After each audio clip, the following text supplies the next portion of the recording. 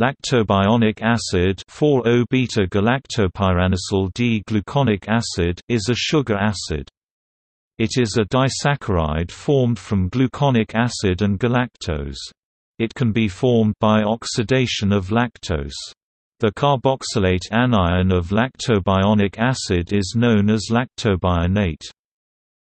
As an acid, lactobionic acid can form salts with mineral cations such as calcium, potassium, sodium and zinc.